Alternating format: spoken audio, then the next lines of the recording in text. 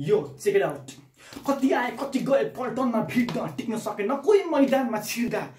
पुग्थ्यो चुचुरमा फेद्ने अल्झदा लौजाएको सम्पत्ति खाइसकेर छैन नासपति।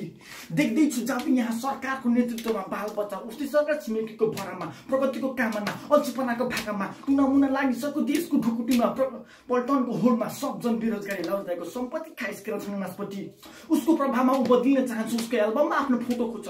चहल पहल दिन गली गली डुल्छ गर्दैन केही दिन दिनभरि हलिराती हल्लाएर सुत्छ। पल्टनमा भिड्न जान्छ गुट्टीको तालमा लौजाएको सम्पत्ति खाइसकेर छैन नासपति। अनि सिस्टमले दोषी ठहराउँछ आखिर सोर्स पछि चलेको देश कहिले कहिले एमएसए बितेको बेस लाग्दैन लाज यहाँ कसैलाई मुख छाड्न आँखालाई सेक्न नसा बाँच्न। लाभदायकको सम्पत्ति खाइसकेर छैन नासपति। कान्छीको विपत्तामा उसको बाउको जुतो सवालमा हरा पारिवारिक तनावमा जब सायद सानुभूति खाँचो थियो तब औलाको समाजबाट तिरस्कृत बाउले आत्महत्या गर्दा तब आउँछ हार्दिक श्रद्धाञ्जली छिमेकीहरूको हुलमा।